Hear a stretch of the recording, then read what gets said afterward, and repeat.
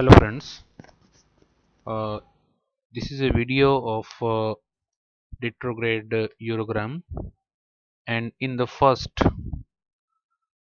picture you can see the x-ray of uh, plain x-ray depicting the pelvis and the soft tissue shadow and this is the next x-ray where the bladder is seen to be full with the dye and you can see the catheter in situ along with the anterior and posterior urethra visualization by the dye.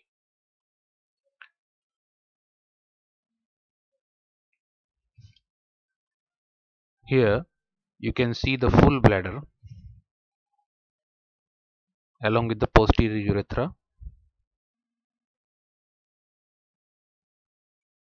It is well visualized and in the final picture you can see that uh, there is a, a little bit of uh, narrowing in the posterior urethra with proximal dilatation a sign of urethral stricture. And this is the still image of uh,